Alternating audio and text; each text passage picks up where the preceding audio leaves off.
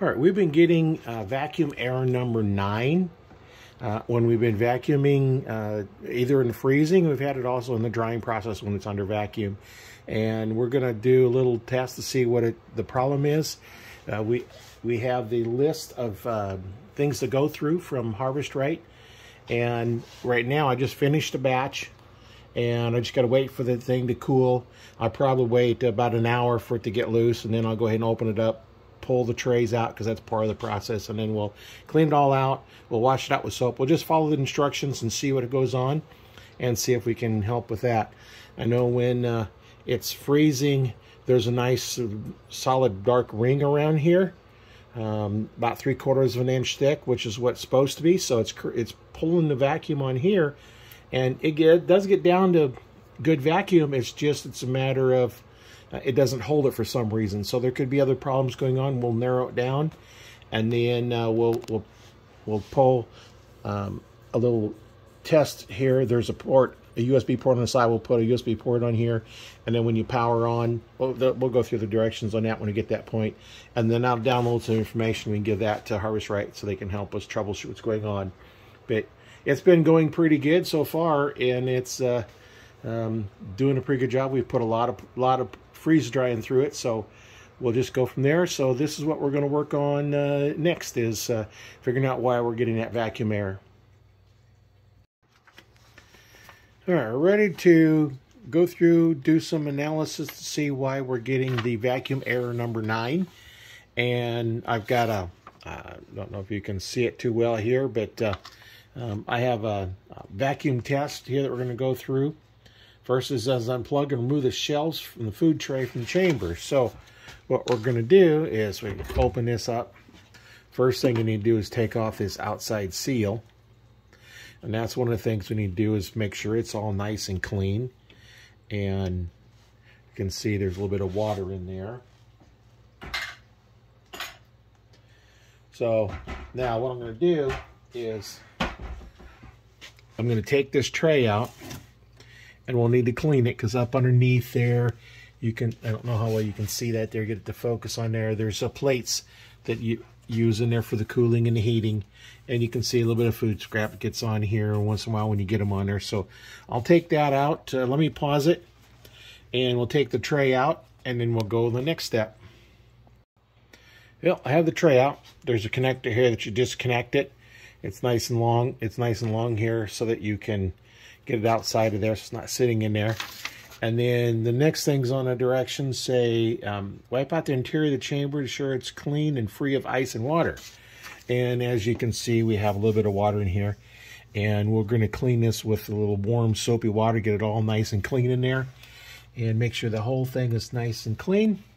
So let me get that ready, get that cleaned, and then we'll come back when I get that cleaned out. All right, I do have the power turned off, and I did unplug it while we're doing this cleaning. It'd be nice to have it on so I don't have to worry about anything on there. And then I have my, my rag here. I'm going to start cleaning this out, wiping it all down, making sure, you know, I can feel a little bit of uh, stuff that is falling down in bottom in there. And, you know, it'll happen as you're going through doing stuff. Stuff will fall off, uh, especially if you're using a lot of liquids and stuff like that. The drain back here will drain. That drain, got to make sure that's clear. I know it's clear because it's draining out of there. And I have the drain open and then into my little bucket there. So let me go ahead and get this wiped down. I'll do the door as well. Uh, once that gets all wiped down, I'll come back and then uh, I'll, of course, I'll run some clean water through it to make sure it's uh, nice and clean. All right, have it all wiped down so it's all clean and dry and I know the valve is open because it's been draining.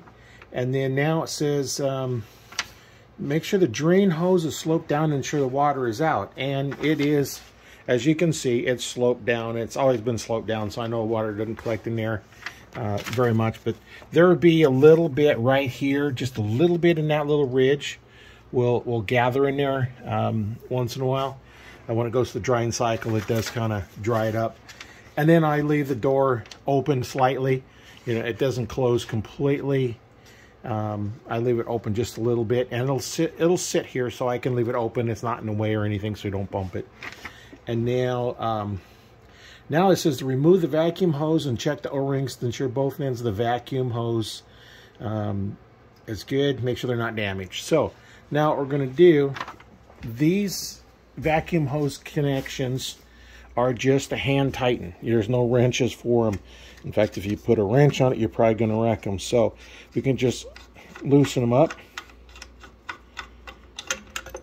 And now then look inside of here and it looks okay. Run your finger in there, look, and it looks like there's nothing wrong with that. So I'll put this back on here and then I'll do the same thing on the side of the unit. That's going to be a little bit more difficult to get to because it's against the, well not against the wall, but it's close to the wall.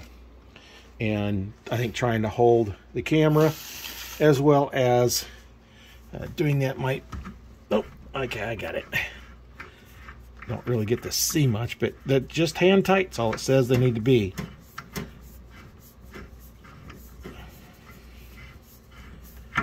Okay, we'll check this one. So we can see down there, see if we can see it. I don't see anything's wrong with it. You know, put my finger in there and feel around, make sure there's no little burrs or anything. So that seems to be okay. So now we'll put this back on and let me go ahead and just pause it while I'm putting this back on. Okay, that end of the hose is back on. So check that. That's not a problem. So let's go back up here and take a look at what's next. Uh, it says if you're using an oil-based pump, which we are, look at the sight glass on your vacuum and what is the appearance of the oil and how high is it, how how's it filled. Now it was it was in the middle. What I'd done is I'd actually drained it and put it in the filter and that's been several hours ago and this is what it looks like as it's going through the filter and then let's look in inside here. Let's see if we can pull this cover off and look inside. Now that's what it looks like. Now, the original oil is completely clear. There's no color to it at all. So that's something we have to look at too as well. So now then, number eight, if the oil is dirty or cloudy, should be replaced. Make sure to tilt the pump forward, remove all the oil, which I did um, get all the oil and water out of the pump. Now, so that we're done with that. Okay, now let's do the next thing. We got to power it back up. So let me go ahead and put the power back here to it. We've got the connector that comes with it that powers the unit. It goes in there. And then the, the electrical for the pump hooks into this other outlet because the, the freeze dryer actually controls that outlet. Now, I'm going to be going through and probably turning on the pump. So right now there's no oil in the pump, so I'm going to need to add some oil to the pump. So I have a little bit of this one left. So we're going to put that in to start with and see how that fills it up. and we'll want to watch that sight window because when I remember when I was doing it before, it don't take long. Once it starts filling, it fills up quick. So let's see if we get down here a little bit lower.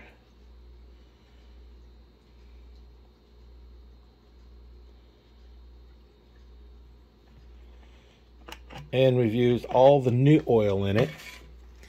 And let's check some other oil. This one here is kind of a bit light have another jar of other oil. I've been switching between the two oils because one of them was draining really slow. So let me get this other one here and we'll see how dirty that is. We may have to get us another bottle of this before we can uh, uh, go on. But let's uh, let me pause that. I'm going to put that in a clear container and see what it looks like. Okay, I put it in a little mason jar. That looks fairly clear compared to what's coming out of this one. That looks to be a little bit darker. So this one hasn't had as many times on it. This one's probably probably just about done. I've probably got 25 or so, or 30, you know, close to 30 batches. That's all they say it should last anyway. So I'm going to top this off with some of this oil here. So I have good portion of it's real fresh oil. And this one here is not quite as fresh, but uh, Um, I'll fill this up because I need to have it up to at least the middle of the sight window. Uh, it can't be below the minimum or above the max. And I noticed the last oil when it was about in the middle, and when it was pumping, it was going clear up here in the top. So I'm going to fill it up so it's a little bit, you know, probably right about here. Not quite the halfway point, but a little bit uh, above that. All right, I have oil filled up. This is a little bit clearer than the other one. I'm going to put this back on. Well, I'm going to wipe it down. We got a little bit of uh, oil on top of here.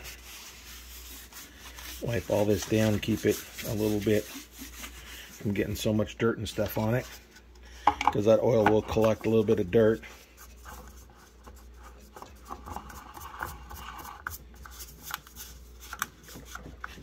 Now, don't put it on real tight. So now, let's go back up here to the front and see what we're going to do here.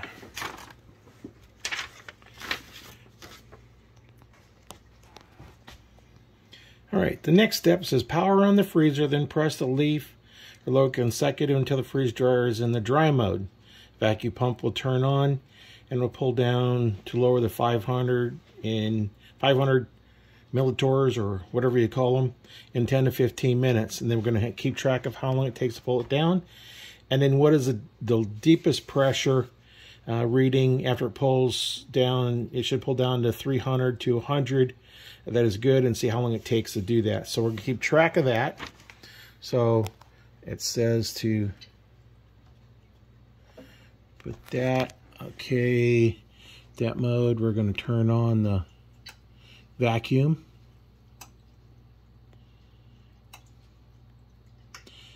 And our vacuum pump should be coming on. Now we're going to want to close the valve here. Our pump is on and running. You can see our oil is in there. Because if you run it without oil, that's not going to be a good thing. So that's running. And we have a timer on here, right here, uh, how long it's been running. So we're going to see what this reading goes down to. It should go down to below 500 in 10 to 15 minutes. So we'll look at our little clock here. It is 10 after 2. So we'll look at about 20 after, 25 after 2, and we'll see what it looks like at that point. So we'll see what it pulls down to, and then wait about 30 minutes and see if it does get down below that uh, 500 range down to the 100 to 300 range. I know in watching this before, it does get down pretty low, so I'll just have to see what's going on with that. Well, let's uh, come back once we get to that point. we're going to check in on here. We have right about uh, eight minutes. We're down to 621 and it's dropping pretty good. As you can see, the, the little dark ring around the seal here it's sealing up really nice. So that's not a problem. The seal is working good here. So we'll just wait a few more minutes and see what this does. We're right about, uh, well, we got about nine minutes in now and we're dropping down pretty good. So we'll let it go. It should drop down with within a few more minutes here. I'm thinking it, it won't take much more than 10 minutes to get there the way it's going. So we'll come back uh, once we get uh, 10 minutes in, 15 minutes, and then we'll see what it, the max it pulls down to after about 30 minutes. Well, I was waiting for that to dry. I took the unit here for the trays and I wiped it all down on the bottom and as well as the top and then cleaned it all out and then took a little small brush and, and brushed in here because there was uh, a, a, little bit of food scraps in here. Make sure you get all this. This is all nice and clean. And then the other thing we'll be doing, to move around here the other direction, is we had another one where we had to clean those coils off. So that's what I'll do before we fire another batch up. We'll get in there and get all that cleaned off good. Uh, so we'll be taking the back off and doing that.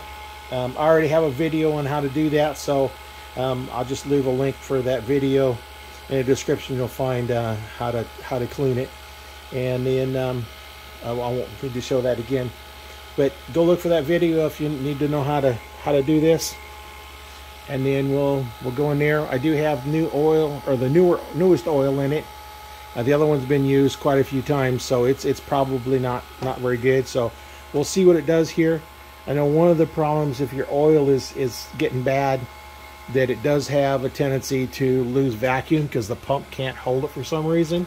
So I've got that fresher oil in it. Let's look at now. We're at 11 minutes. We're down to 557.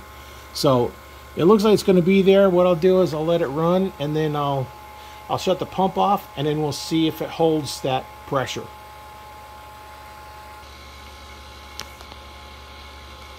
All right, it's been our 15 minutes and we're down to our 500 and it's still dropping. So I'm gonna let it run another uh, probably 15 minutes, about a half hour, see what it gets down to, and then I'll shut the pump off and see if it holds vacuum. Well, just update on the vacuuming here. Uh, we're at 31 minutes. We're down to 411 and it's still dropping. So I'm going to let it go a little bit longer and see how long it takes to get down to below 300 and see where the minimum is. And then I'll come back and we'll we'll see where that's at, see how long it took down and what the lowest was we got. So we might run a little bit longer on this test I just want to make sure it's it's down because it should get below 300 uh, the 100 to 300 range and we're not there yet so I'll see how long it takes to get there. Well just an update on on the vacuum test. We can see we're right about an hour and 10 minutes uh, and I don't know what this is doing, but this looks like this started over. But we're down to 334. So we're not quite down where it should be. I'm thinking it needs to be a little bit lower. Uh, but that we'll have to check and see what's going on with that. So what I'm going to do now is I'm going to go ahead and shut off the vacuum. And I'm going to leave the door closed and see what it does, the vacuum does. See, and, and right away it's starting to increase. So I'm thinking there's probably a leak someplace. Not sure where, but it shouldn't be be doing that, I wouldn't think. So it may go up a little bit and stop. So I'll just let it sit for a little bit and see what it does. But I have a feeling it's it looks like it's rising pretty quick. So there's a leak someplace.